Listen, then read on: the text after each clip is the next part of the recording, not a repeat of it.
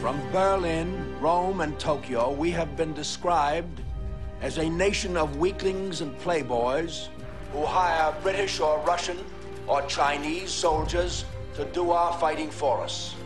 Let them repeat that now. Let them tell that to General MacArthur and his men. Let them tell that to the soldiers who today are fighting hard in the far waters of the Pacific. Let them tell that to the boys in the flying fortresses. Let them tell that to the Marines.